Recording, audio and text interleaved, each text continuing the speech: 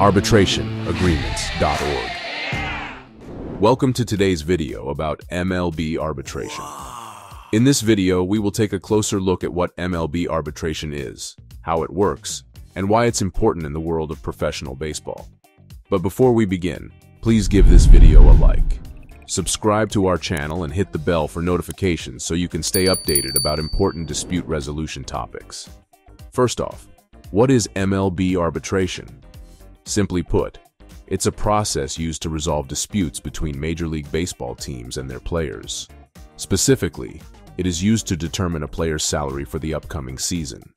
If a player and their team can't agree on a salary amount, they can enter into arbitration, where a third-party arbitrator will hear arguments from both sides and ultimately make a decision on the player's salary. So, how does MLB arbitration work? Well, it starts with both the player and the team submitting a salary figure to the arbitrator.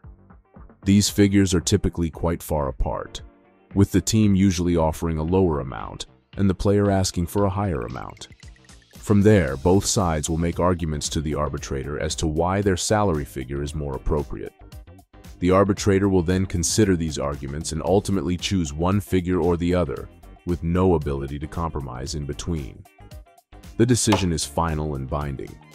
Why is MLB arbitration important? Hmm. For players, it's a chance to potentially earn more money than what their team initially offered them.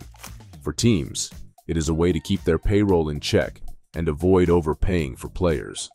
Additionally, MLB arbitration is an important tool in maintaining a fair and competitive balance between teams, as it prevents any one team from being able to offer significantly more money to their players than other teams. So, what do you think about MLB arbitration?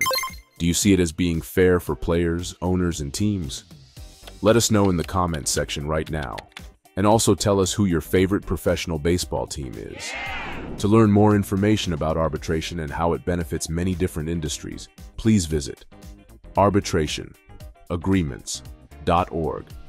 We do not provide legal advice, but give us a call if you or your business want to open a new account or case.